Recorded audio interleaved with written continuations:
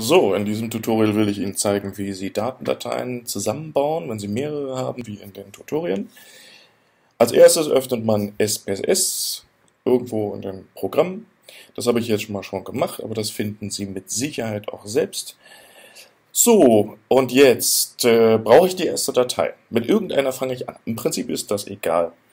Ich habe mir die Dateien mal aus einem Tutorial runtergeladen, habe sie ein bisschen anonymisiert und fange jetzt mit einer Datei mal an, klicke die im Datenmanager, im ja, Dateimanager, in diesem Fall beim Mac den Finder an. Das können Sie im Windows Explorer auch machen. Wenn das Programm gut installiert ist, dann führt ein Doppelklick dazu, dass die Datei direkt in SPSS geöffnet wird. Und da ist sie auch schon. So, äh, jetzt können wir uns hier angucken, wie viele Variablen sind drin. Bei dieser Inhaltsanalyse ist das recht schlank, also nicht zu viele Variablen. Ähm, ich gucke mir dann diese Datei mal an, indem ich mir über die Datenansicht hier unten einer von diesen Schaltern, und zwar der linke, den klicke ich an.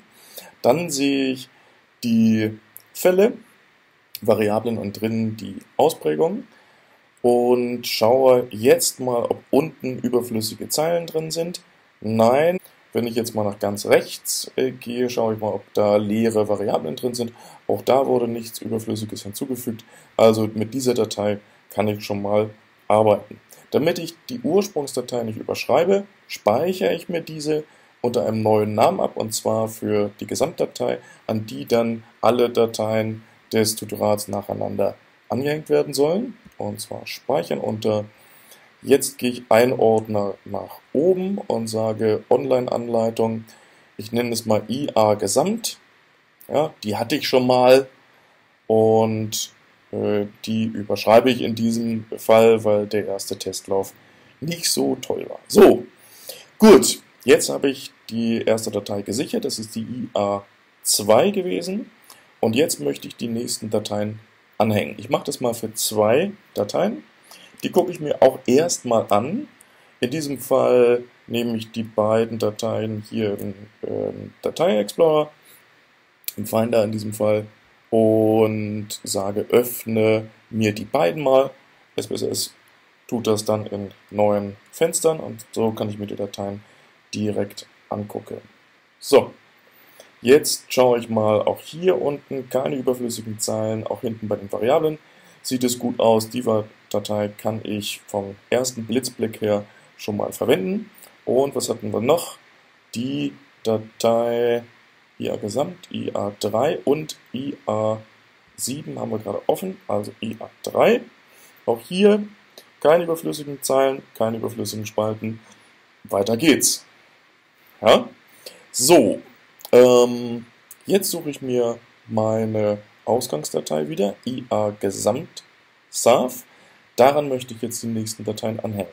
Jetzt gehe ich ins Menü oben, Daten.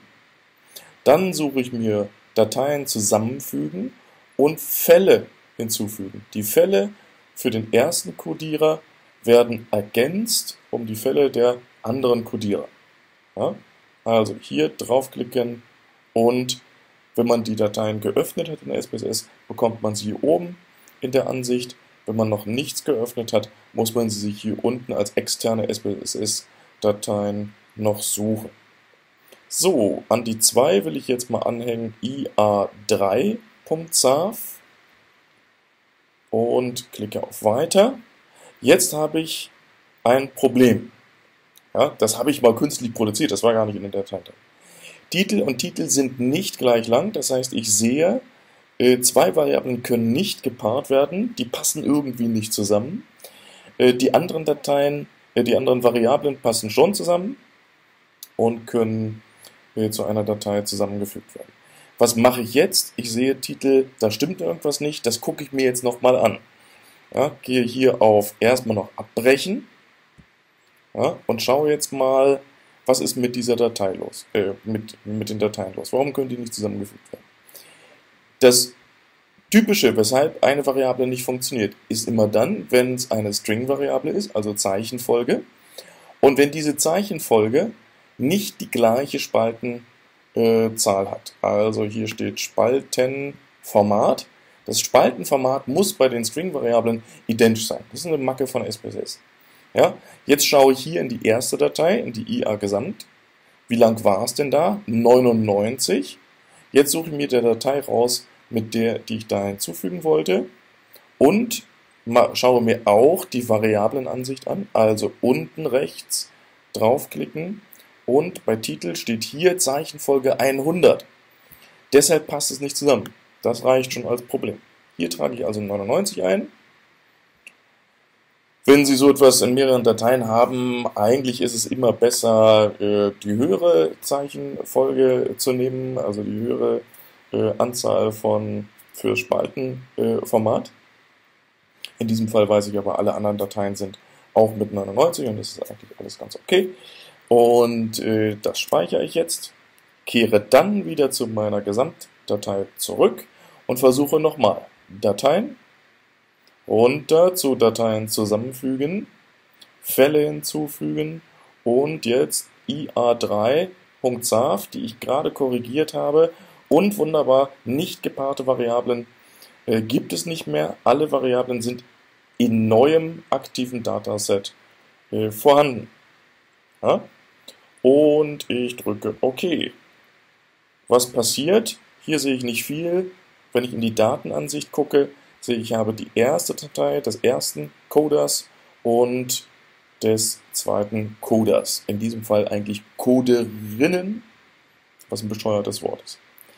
Egal. Jetzt füge ich die nächste Datei an und zwar suche ich mir wieder Dateien zusammenfügen, Fälle hinzufügen und in diesem Fall IA7. Ist da alles okay? Nicht paarige Variablen, klingt auch komisch. Gibt es keine? Alles gut. Variablen in neuem aktiven Dataset, alle sind drin, wunderbar. Drücke ich auf OK und schon wird die nächste Datei hinzugefügt. Das machen Sie dann mit allen Dateien, die Sie so haben und haben dann einen Gesamtdatensatz. Das war es erstmal zum Zusammenfügen. Gleich geht es weiter mit den ersten Bereinigungen.